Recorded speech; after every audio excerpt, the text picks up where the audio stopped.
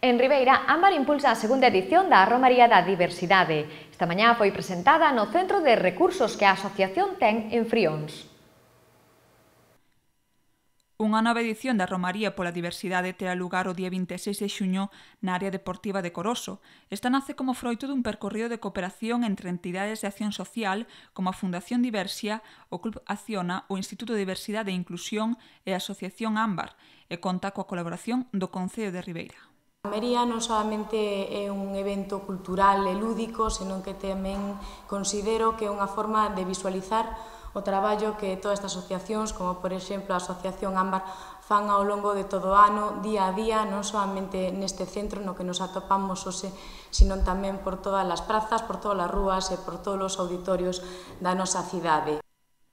A iniciativa, impulsada pola propia Asociación Ámbar, ofrece unha proposta lúdica e reivindicativa fundamental para, para a concienciación social que, que, que, que nos teñan en conta da, na vida, no día a día e na participación mm, no que nos eh, de forma habitual chamamos inclusión, a inclusión de, das persoas con diversidade na, na nosa comunidade.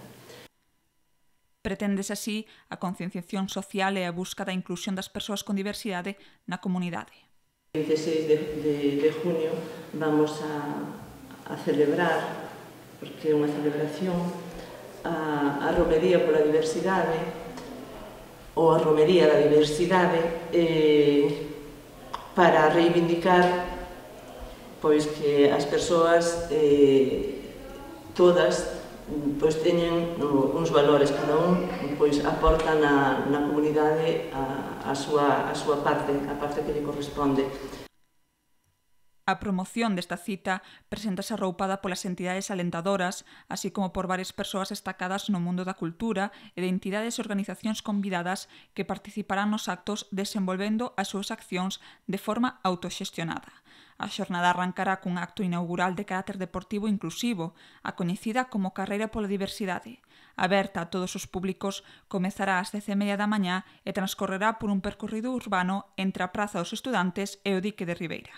O acto inaugural da, da romería sería a Carreira pola Diversidade, E só recordar que xa están abertos os plazos de inscripción, que este ano vai haber categoría para nenos e que eh, tamén se poden inscribir eh, con dorsal ceros, aqueles que queiran colaborar e que non podan correr ou polo que sea ou non podan vir, pois poden colaborar co dorsal cero.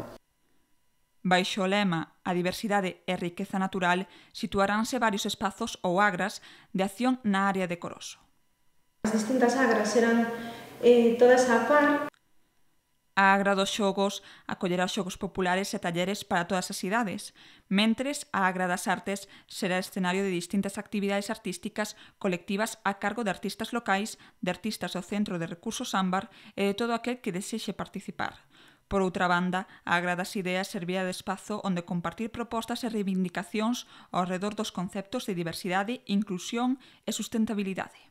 Toda Agra das Ideas eh, será un espacio que, ao igual que o ano pasado, eh, diferentes eh, bueno, eh, representantes de colectivos diversos podrán, de, podrán demostrar eh, eh, eh, dar as súas propostas e reivindicacións eh, nun tempo que, que, que poñemos a súa, a súa disposición sempre eh, cos, conce, cos conceptos de diversidade, inclusión e sostenibilidade. A partir das 12 e media do mediodía disporase da Agra Solidaria, unha zona habilitada con postos onde se poderán mercar artigos e produtos de comercio xusto.